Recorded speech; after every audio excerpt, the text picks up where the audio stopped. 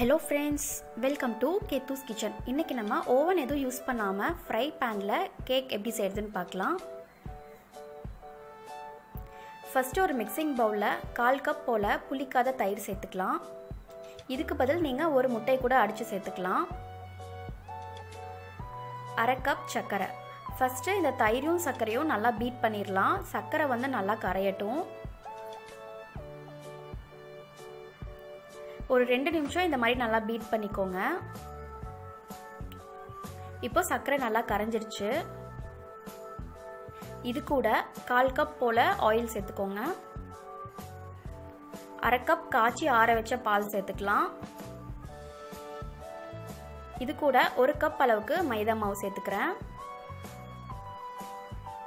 கால் teaspoon baking soda அரை teaspoon baking powder ஒரு pinch அளவுக்கு உப்பு சேர்த்துக்கோங்க. கடைசியாக ஒரு டீஸ்பூன் அளவுக்கு வெனிலா எசன்ஸ் சேர்த்துக்கலாம். இது எந்த வித கட்டியும் இல்லாமல் நல்லா கலந்துக்கோங்க.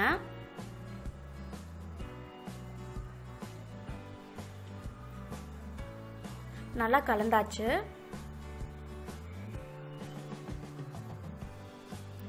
இப்போது ஒரு அடிகனமான இந்த மாதிரி ஒரு பேன் எடுத்திருக்கேன். இதில் வந்து லைட்டாக பட்டர் மட்டும் தடவிக்கிறேன்.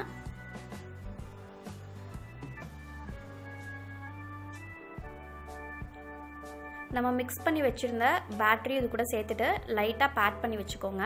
இந்த மாதிரி சமப்படுத்திக்கோங்க.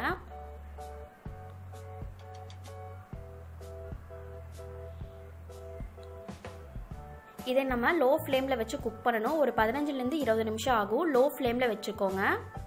மூடி வச்சிடலாம் இது நல்லா வேகட்டும்.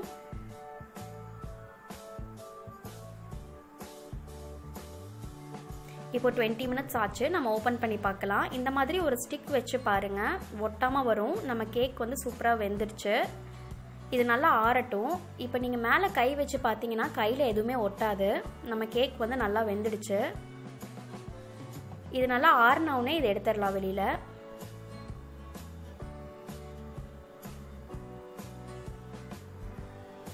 நான் இன்னைக்கு ஹார்ட் ஷேப்பில் குக்கி கட்டர் வச்சு கட் பண்ணுறேன் உங்களுக்கு வேறு எந்த ஷேப்பில் வேணாலும் கட் பண்ணிக்கலாம். நம்ம கேக் பாருங்கள் ரொம்ப சாஃப்டாக வந்திருக்கு. இதே மாதிரி எல்லாத்தையும் நான் கட் பண்ணிடுறேன். எங்கள் வீட்டில் குட்டி பாப்பா இருக்கிறனால நான் இந்த ஹார்ட் ஷேப்பில் கட் பண்ணுறேன் உங்களுக்கு வந்து வேறு எந்த ஷேப்பில் வேணாலும் கட் பண்ணிக்கோங்க. இந்த மாதிரி செஞ்சு கொடுத்தா ரொம்ப ஜாலியாக சாப்பிடுவாங்க.